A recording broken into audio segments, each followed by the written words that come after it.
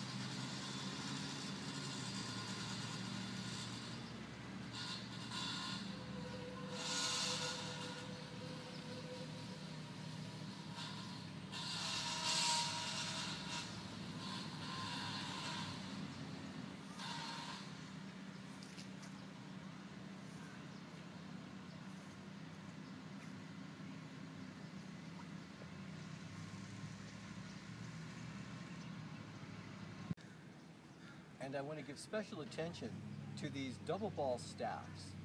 I've created a curriculum of over 200 moves to be done with these double ball staffs.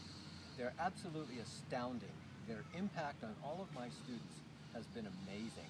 No matter how far along they are in their practice with clubs and maces and kettlebells, their practice has been improved dramatically by learning how to use the double ball staff and increasing their brain organization, their neuromuscular connectedness, and their digital dexterity with these.